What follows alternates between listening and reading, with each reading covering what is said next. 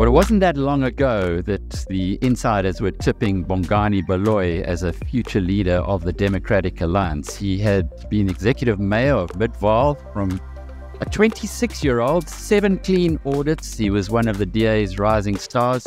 Then he left, joined Action SA, provincial head for Gauteng, and then he left. And now he has his own political party. We're going to find out the story of Mr. Baloyi in a moment.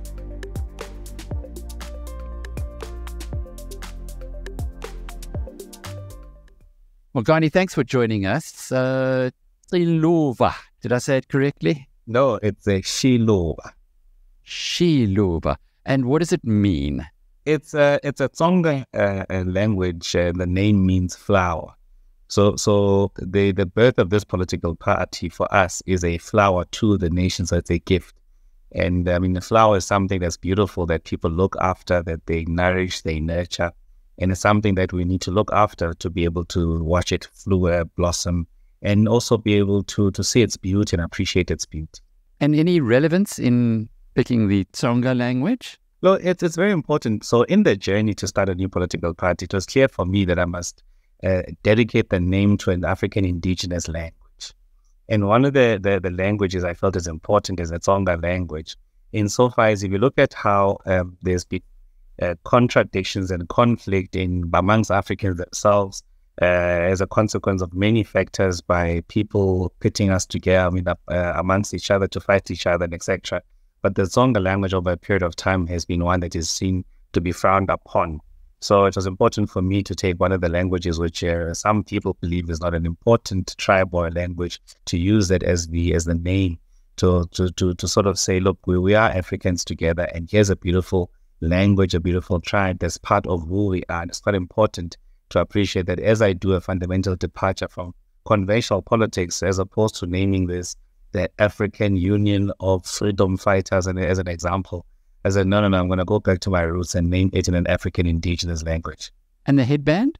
The headband is mkhele. It signifies many things, but for me, the most simplistic meaning of it is that visual expression and uh, of my of my roots of being an African person and being proud of my heritage and African sense as well. So that that's the the very simplistic meaning to that. So I, I took a, a journey, um, I mean, a few years ago of, of sort of going back and understanding who I am, where I come from, and I've been raised in a very cultural and traditional home. And I often found that uh, Africans, or I found myself a bit schizophrenic. In in public and in the economy, workspaces, I am something else.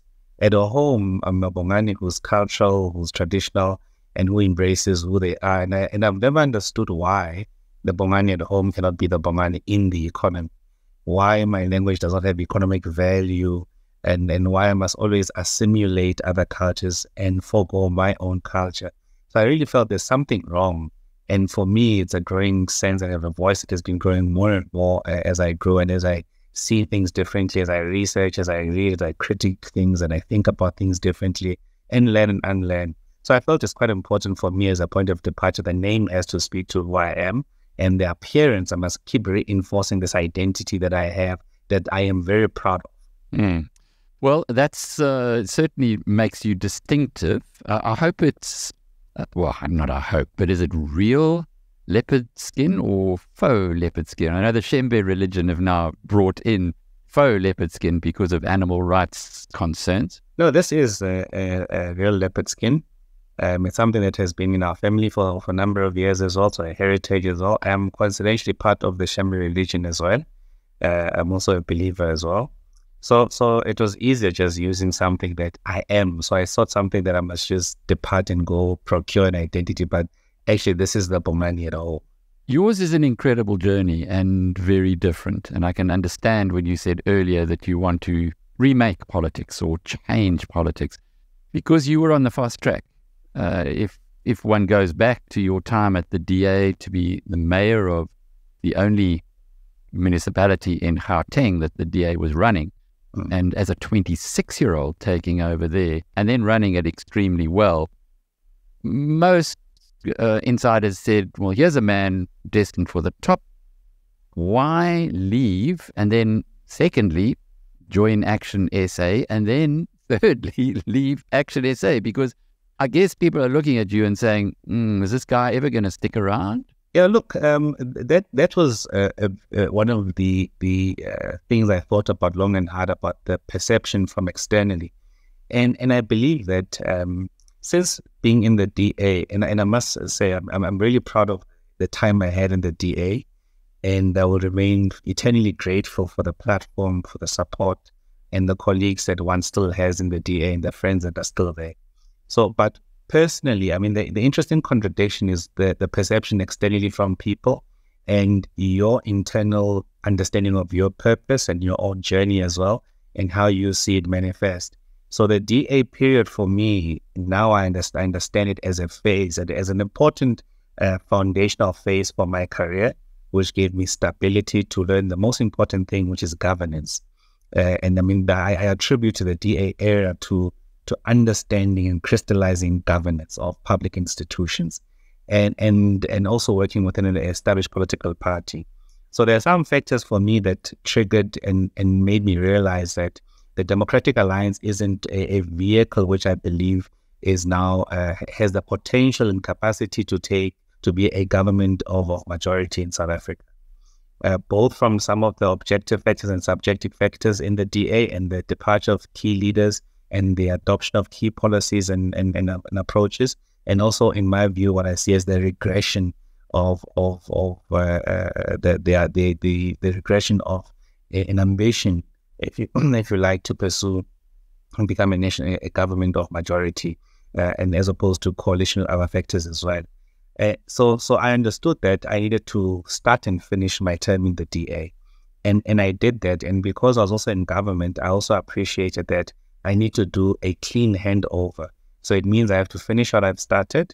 And because I worked so hard in the institution on the back of others, I mean, I was quite uh, fortunate because I, don't think many mayors uh, really appreciate taking over municipality from another mayor colleague who has really laid the foundation for you to succeed. And building from that foundation and being able to hand over to the next person to succeed. And I think one has has had the advantage of doing exactly that uh, because I was able to give what uh, in a, an institution which was in a better situation that I, I had inherited it. And Timothy Nast had done exactly that from Marty Wenger. So I took over, then built, and then uh, left in a, a, solid position, and I continued the, the trajectory of growth and sound and stable government. So, so then for me, I knew that my my my, my stay in the DA had come to an end, and that's why I waited for the elections to come and go. I handed over the municipality. There was no internal instability there was no issues around the governance and sustainability of the institution because when an individual leaves, institutions must outlive an individual. So, so then for me, it was clear that now I can leave responsibly and pursue my, my other objective. And what excited me with the Herman project was that it was a clean canvas and one could really paint and, and color it in as you see and also attribute and contribute uh, thoughts which can easily manifest in a new party as opposed to an established party because the beauty with new institutions is that they can still be shaped and you can still define the organizational character, the purpose, but equally you can also define uh, the, the, the key strategic goals or the how you see the world from that basis. So that was quite exciting. And obviously, uh, as you enter a new environment, things change. It's a new political party. Uh, you, we are building as we are going. There's issues of some challenges of finances. You've got a backer who's very strong uh, financially uh, who's the leader of the party as well, but uh, also has strong views as well. And and you think that you know you'll be able to work within the organization and really persist and shape an organization. And, and I wasn't. Uh, uh, um, uh, I, I, was alive to the fact that politics is about the battle of ideas. That uh, there's there's no political leader, including myself, who is a walkover when it comes to contestations of ideas that you believe is right. So I never thought that it would just be a smooth sailing road. I anticipated engagements and, and battles of thought and actually challenging each other in such an environment. And and my experience uh, just changed. Uh, uh, uh, uh, I mean, after a short while, which led to my departure. So that's why leaving Action SA, I mean DA, and leaving Action SA as well. My reasons were public as well. I think most of Action SA, what triggered it, is a conversation that uh, Herman asked to have with me while I was still the provincial chairperson of Action SA. And in his opening remarks for the purpose of the meeting, he alluded to the fact that uh, he does not uh, trust me, and our relationship has deteriorated. And the reasons he advances for that is that we know, apparently, according to him, we no longer call each other, which points to the fact that the relationship has deteriorated. But equally, he believes that uh, because of the comments I had made at a Senate meeting before that meeting, which were not in support of uh, an issue that was being raised, and I was quite vocal about that, as I was numerous times at the DA. But no leader in the DA called me aside to say, uh, because of the comments you made, I think our relationship has deteriorated. So I found that quite alarming. And more so than when you say, for those reasons, you want to move me as the chairperson of, of Gauteng, but then subsequently appoint me as the national spokesperson. So, so for me, it did not make any sense. Whereas the national spokesperson works day to day with the leader of the party to communicate, to defend, to respond to issues that he might have said or what the party believes or, commun- messages of the party. So, for those same reasons, I said to him, firstly, I dispute the fact that we no longer trust each other. I thought that as we mature and start engaging, we will differ. And I never understood the differences to mean that we don't trust each other. Uh, and when, when we engage, you said you want strong people around you. And now that I'm actually sharing my opinion and where I differ with you fundamentally and what I believe is wrong things, and you can't uh, then characterize that as a relationship broken down. But because you are the leader and it's your prerogative to appoint me in this position, I accede to your request to to remove me as a provincial chairperson, but I'm going to apply my mind uh, on the offer to be appointed as national spokesperson. And that for me, and I, even mentioned to him that for the same reasons that you're advancing to remove me from the position of the national, I mean, uh, uh, provincial chairperson, the sa- for the same reasons, you can't appoint me as a national spokesperson. So, so it was clear. I, have had issues with his his office, and I used to refer to his office as the presidency. And I said, as the provincial chairperson of Gauteng, the same province where the president resides in, it, he the, the office makes it difficult for me to properly coordinate and work with the office of the president. Because one, they don't appreciate that there has to be joint planning. You can't, as a president, where you've got a national, uh, I mean, when we're the president, you've got a uh, provincial uh, chairperson, just decide to do events without joint planning or engagement. So that because we need to rally the structures and myself to be there with you. You can't be the first respondent on things when I am there. So it means that we're effectively competing for space, and that does not bode well because people who've got nefarious intentions come into that gap and they start manipulating. So, so then easily, I mean, I mean, so something people can just make allegations about me as they did there that I am pro ANC, I'm pro this, I'm pro this, but no one actually gave me an opportunity to to accuse me so I can equally respond and be able to defend myself. So those perceptions lasted as a consequence of a deteriorating mm. uh, relationship between the office of the president and the, the chairperson position because we, we have to work together. Nicely put, uh, and I think that does certainly lay it out. Politics is dirty. It, it, no matter where you go in uh, from our side and and ask various questions, Gayton McKenzie versus DA versus mm. ANC, and it it just seems like you come across as a really mm, integrous, but like Mmusi Maimane, uh, honest guy. Uh, you you religious clearly, as is Mmusi.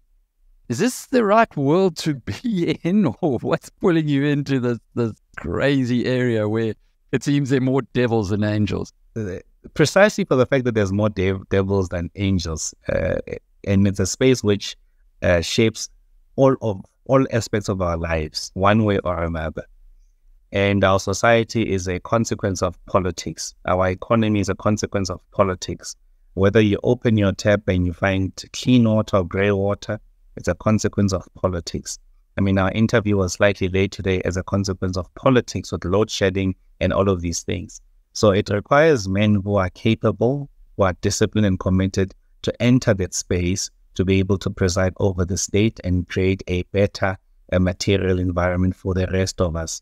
So, so it's men who, who are not afraid to risk it and try again. I mean, I was telling somebody the other day that uh, um, I, I, was stupid enough to to leave the DA and equally stupid enough to leave uh, Action SA and, and, stupid enough to try again with another political party. Mm-hmm. Uh, and but I think I really think that those two experiences have been valuable experiences on both uh, journeys from Action SA DA. It was it was mutually beneficial in terms of value add and when what I derive from an experience exposure point of view and a learning environment point of view.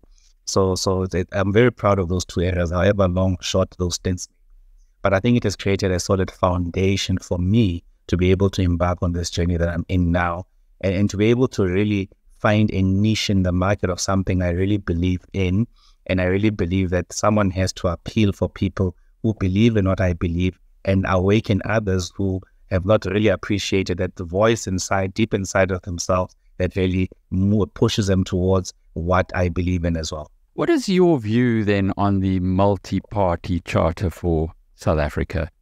Uh, given that you're a new party, uh, Xiluva's just out of the starting blocks, really, uh, would you be joining or considering joining that group? Because it does appear as though you are closer to their line of thinking than the ANC EFF approach. We won't be joining anybody, whether it's the ANC or the multi party coalition, we won't be joining. We think that is a bit presumptuous.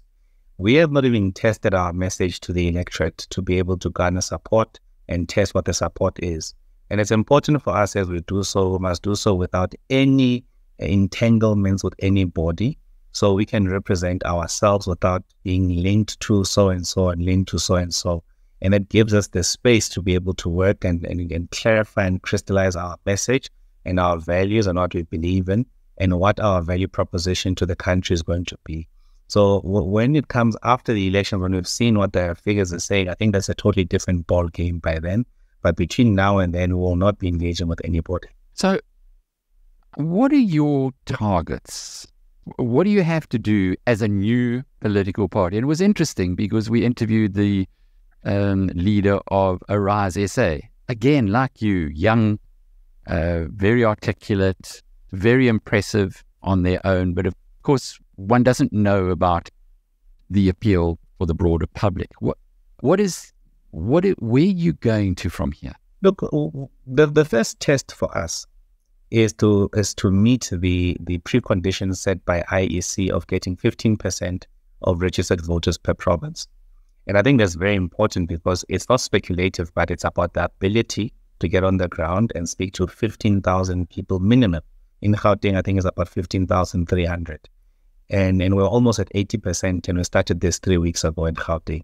Wow. We are moving in Limpopo, we are moving in Mpumalanga, we are moving in KZN. Uh, we're only we're only starting next week in the Eastern Cape, and the Western Cape will probably do in the second week of October. So so then there's two other provinces that are lagging behind, and and that for us is going to give us a real sense to to understand what we are looking at.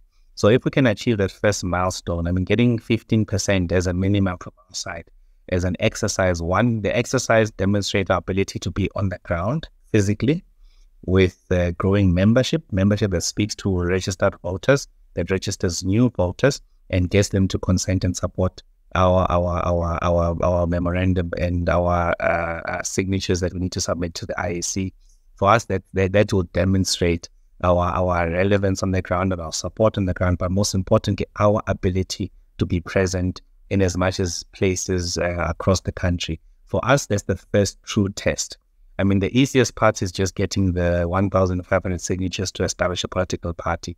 But I think that this necessary milestone set by the, I mean, precondition set by the IEC is a very important one because it must filter those who have got uh, capacity and those who are serious players and those who are just uh, frivolous players in the part.